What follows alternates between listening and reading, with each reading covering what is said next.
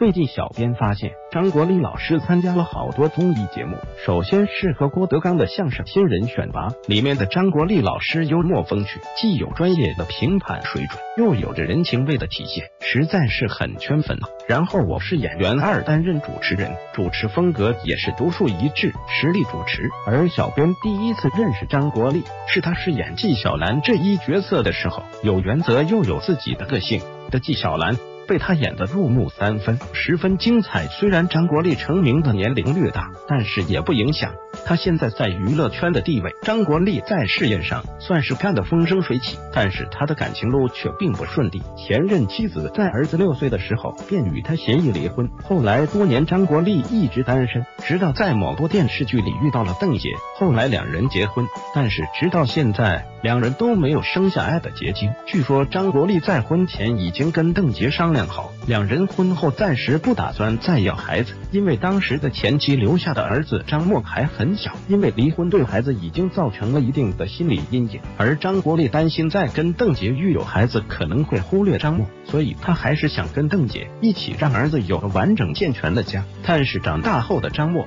并没有体会到一位老父亲的良苦用心，起初被媒体曝光殴打女友，后期又被曝沾染毒品。所以在娱乐圈，张默基本就是被毁了。为了这个儿子，张国立操碎了心，也只换来一生的痛。张国立认了两个干女儿，一位名叫韩雨芹，韩雨芹其实也是圈内人，但是她饰演的角色都不怎么出名，所以可能大家都没听说过这个名字。事业上，韩雨芹并没有取得什么成绩，但是在干爹张国立的帮助下。韩雨芹有一个出色的老公陈英杰，陈英杰是达芙女总裁，陈家也算是名副其实的豪门。还有一位周笔畅，周笔畅还是比较出名的，凭借一副天赐的好嗓子，在歌坛占了一席之地，而且涉及了很多领域都还比较成功。所以说，比比算是张国立孩子里面发展的最好的一位了。其实，据小道消息，张国立还妻子还一起领养了一个女儿，具体的情况小编暂时无从得知。